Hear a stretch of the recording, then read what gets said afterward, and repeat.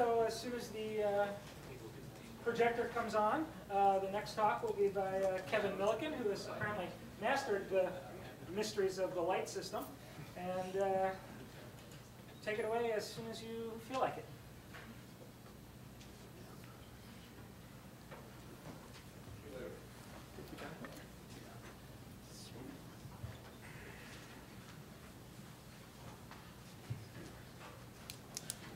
Um, I was a I was a student of Dan's between off and on between 1997 and 2000.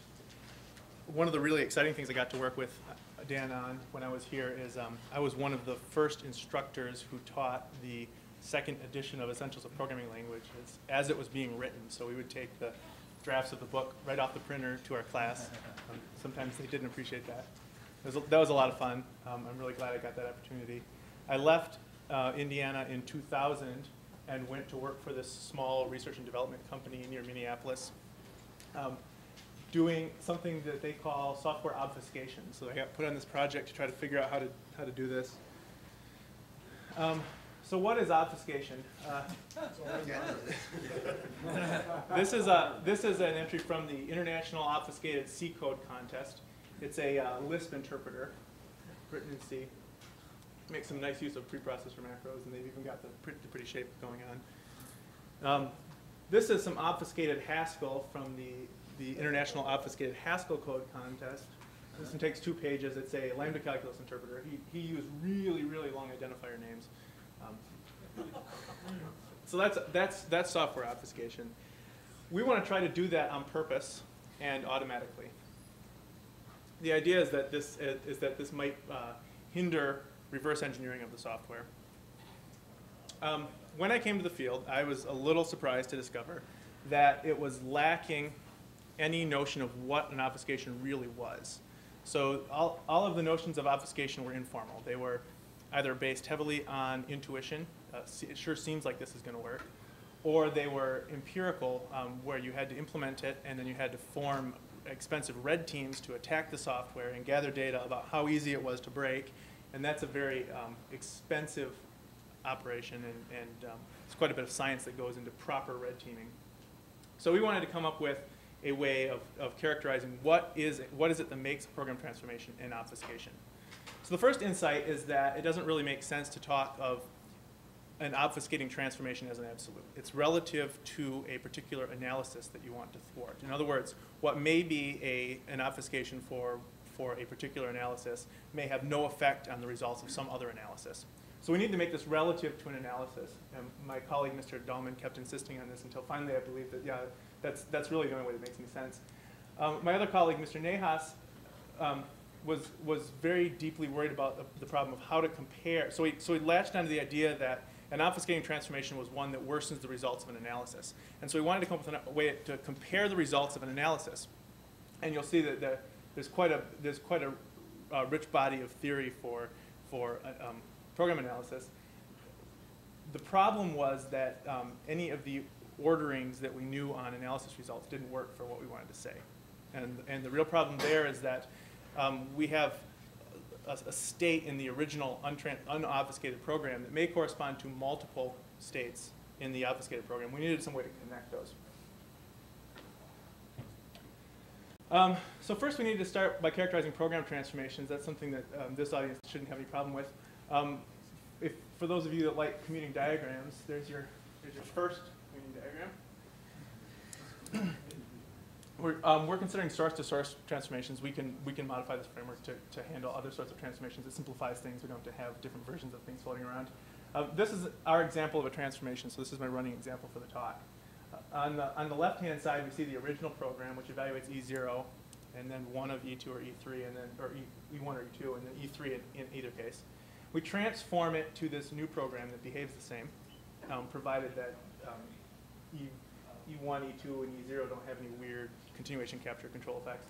Um, so if this is, a, we're actually doing this on C code, so it's, it's, it's more safe for what we're doing. Um, more obscure. It's more obscure. So the question, the question, the question is, the question I'll try to answer is, is this an obfuscation? And so first of all, I said that it was, had to be an obfuscation with respect to some analysis, so it doesn't really make sense for me to ask, is this an obfuscation? Is this an obfuscation with respect to some analysis I have in mind? The analysis I have in mind is computing the control flow graph, the intra-procedural control flow graph of that little hunk of code. Um, so we model an analysis as a function from programs to some abstract domain, which is a lattice. Uh, there's your second commuting diagram there, showing the results of analyzing the original program and the transformed program. Um, here's the example. We're computing the control flow graph. Uh, I show on the left the code. On the right, you see the um, a schematic of the control flow graph. So I'm, I'm assuming that E0, E1, E2, and E3 are all basic blocks, and I'm, and I'm kind of eliding details of entry nodes and exit nodes and things like that. Um, below that, you see the actual results computed by the analysis, which is a set of edges over, over some set of nodes. And that, so that's the control flow graph. Um, so we said that the results of the analysis was uh, an abstract domain, which is a lattice. So we have a partial order from that lattice. It's not the right one that we want to use to compare these transformations. Um, the, the analysis results in the original program and the analysis results on the transform program live in such vastly different parts of that lattice that they're not comparable in any interesting way for us. Um, the ordering we want to use on this control flow graph lattice is uh, subset. The ordering we would use when we compute the analysis is a subset ordering. And um, neither of the results of, of the analysis of either of these programs is a subset of the other. On, on the top, you see the original program. On the, on the bottom, you see the transformed program. And it has uh, more edges, so it can't be a subset of the, of the first program. And then you see that the E0, E1 edge is missing, so that can't be a, so neither one of those is a subset of the other. So they're incomparable in the lattice of analysis results. Um, this is where abstract interpretation comes to the rescue. I was exposed to abstract interpretation when I came here as a, as a um, wide-eyed person who'd never heard of Scheme and, and met Dan and thought this was one of the, one of the coolest things ever. Um, what we want to do is we want to connect the results of the analysis to the semantics of the source language. We do that in abstract interpretation via Galois connections. A Galois connection is a, a pair of, of lattices and a pair of functions between them. The functions uh, alpha and gamma. Alpha is mnemonic for abstraction. Gamma is mnemonic for concretization. So the abstraction function maps the concrete domain of the semantics to our abstract domain of our analysis, and gamma ma- maps backwards. They're, they're, they have to monotone, and then these, these two, uh, these two characteristics are the, are the defining characteristics of a Galois connection. If you um, abstract a, a, a value in the concrete semantic domain and then concretize it back to the concrete semantic domain, you get something which is um, greater than or equal to what you started with. So that, that's, that's worse or the same. If you uh, concretize an abstract value and then, and then abstract it back to the abstract domain, you get something which is less than or equal to what you started with.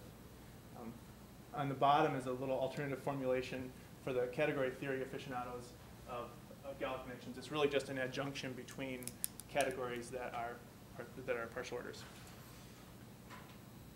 So the so abstract interpretation uses alpha and gamma to connect the results of an analysis to the semantics. In fact, they use it to often derive the analysis implementation from the semantics and the implementation of alpha. So, so from the implementation of the semantics, if I have an implementable semantics, which which is Dan has taught me to, to always carry with me, and um, and alpha, we can induce an analysis.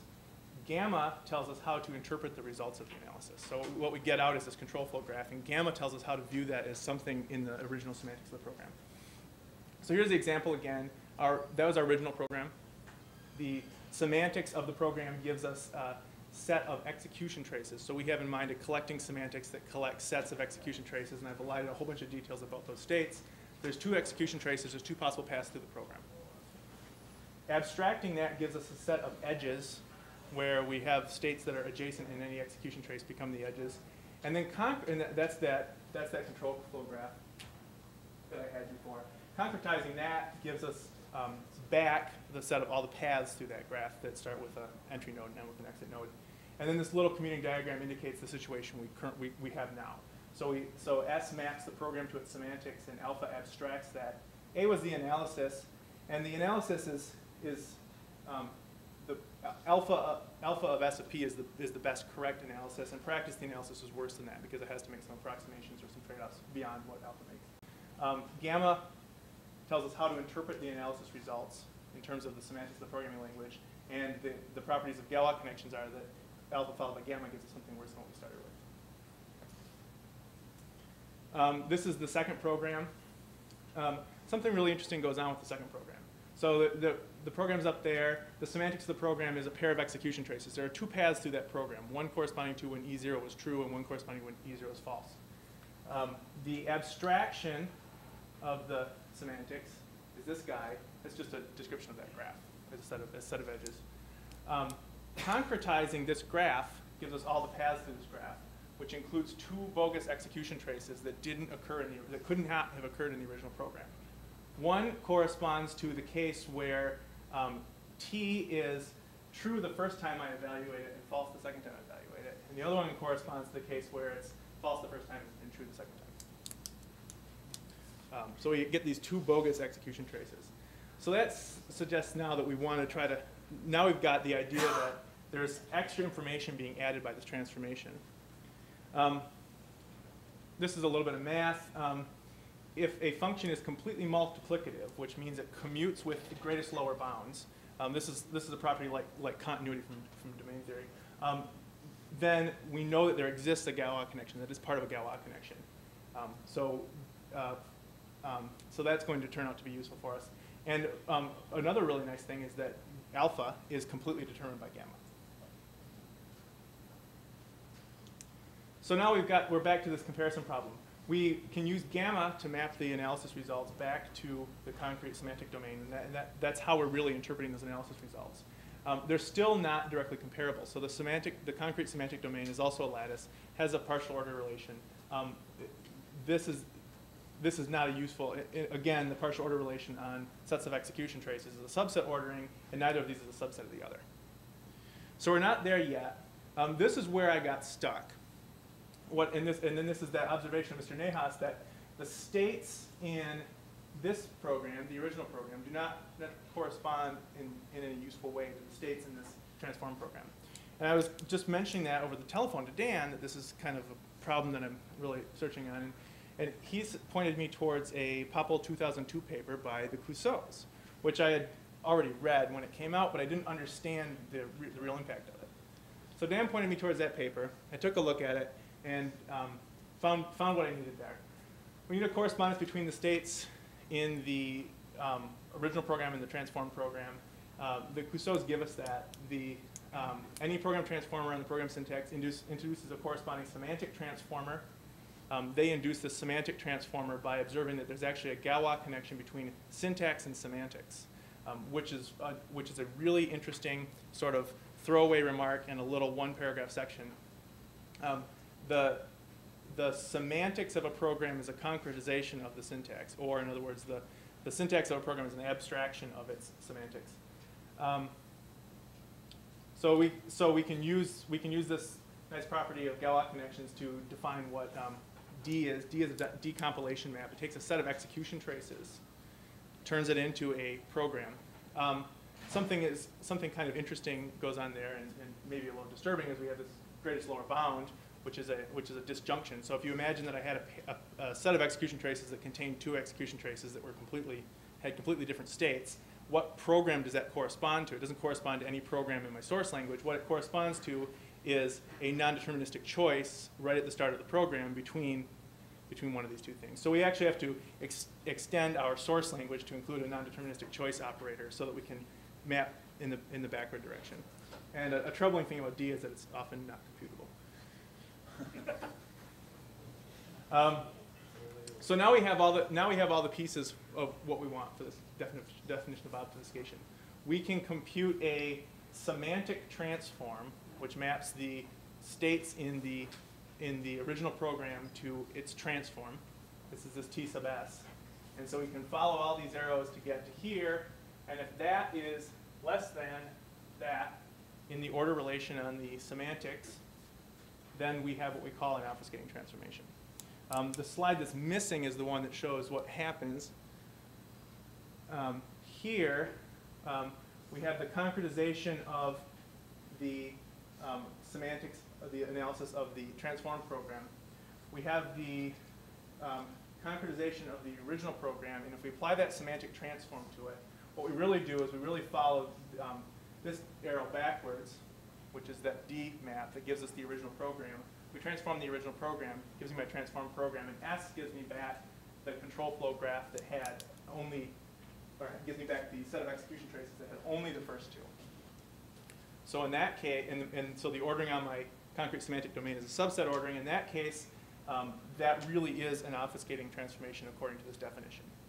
In other words, um, analyze, analyzing the program, or I'm sorry, transforming the program and then analyzing it and then interpreting those results gives me something worse than if I had analyzed the original program, interpreted the results, and then transformed them.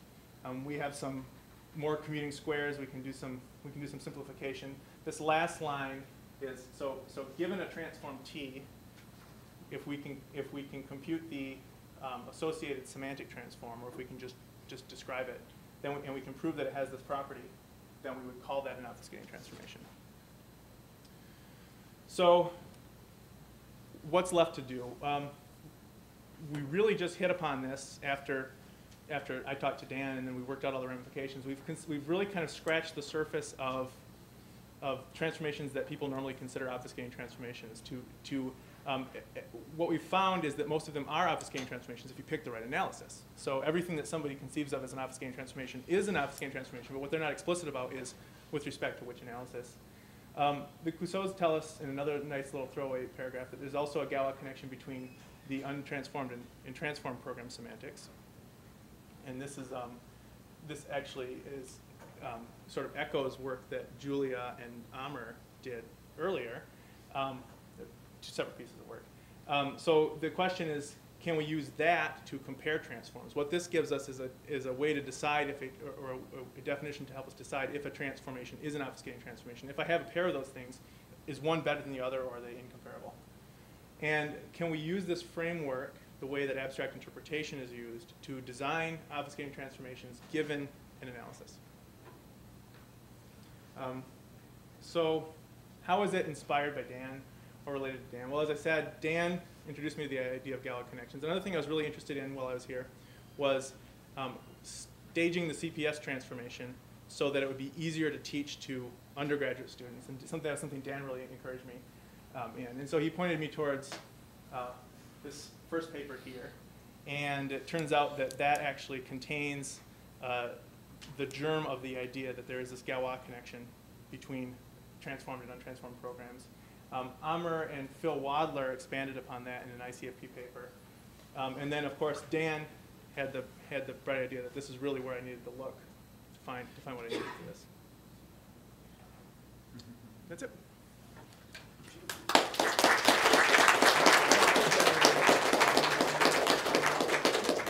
Any questions? David? curious about the foundation of it. Okay. You allow that you want to obfuscate code, but why not just use crypto? Um, people do. So um, one reason you might not do it is you want to run it in stock hardware, and you don't want to have some trusted software base that So you just put an FPGA between you and. Yeah, yeah. Pe- people people do. I mean, that's a, that's a better. I mean, I my earlier slide says this hinders reverse engineering. It doesn't it doesn't give you anything like the guarantees that cryptography does. This the security that cryptography does. Jerry? Is it plausible to use what you just did to write an unobfuscating device? Yes. Because it knows all the obfuscating transformations you could possibly discover? Okay, I think I'm going to do it. I want my code to be clear, and I want unobfuscated. Yeah. I do a lot of obscure code that I'd like to fix. Yeah. Well, yeah, yeah. No, no. That's that's interesting. Though. Just just just like in analysis, um, there's sort of a there's sort of a theoretical best obfuscation, and often that's not something that you can actually compute very well. So you have to make some approximation. Yeah. So I have a, I have a question. Yeah. I don't know if this is an obfuscator or not, or just something neat to have around. But if you have a lambda calculus expression, and you feed it to the abstraction device, you end up with SKs and Is. hmm And then you take that lovely program with SKs and Is and you replace them all with the appropriate X's. Mhm. When your entire program is now parentheses and X's, Mhm. would you call that an obfuscation? Yes, with respect to the right analysis, yes. What would be your analysis? Um, It's just, Put two, you only have two characters, Not Well, three lines. characters, left parentheses and right parentheses and right. Um, And a blank. And a blank. Very good. Very good. That's the problem, it's exponentially big. That's why you have to put CMY in. Oh, I see. But that's great, you can just give it more, more. self, throw two commentators in, make everybody happy. yes, I'm sure that would be an obfuscation with respect to the right class of analyses. Any other questions? Okay, thanks very much.